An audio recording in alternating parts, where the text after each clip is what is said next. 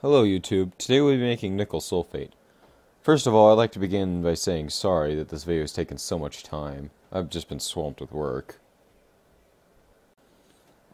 Now, before we start, there's some other issues in the way. The reaction deals with very corrosive acids and carcinogenic metals. Great care must be taken, and it is wise to do this in a fume hood or outside. As well, do this at your own risk. Anyway, we will be making nickel sulfate from nickel metal and sulfuric acid.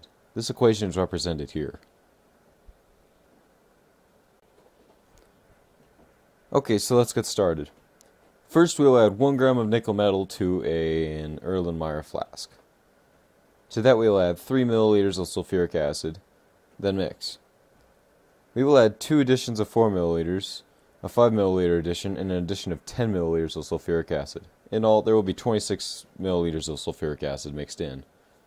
This may all be added at once if you would desire.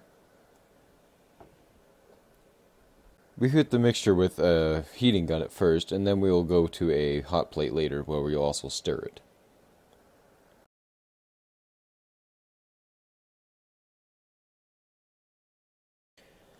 Now we filter the mixture to remove the excess nickel. The filtrate can be left to evaporate or a desiccator may be used.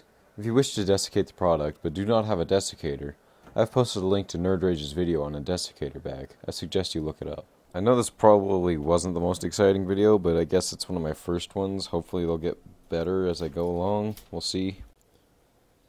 Thank you for watching, and please remember to subscribe, rate, and comment.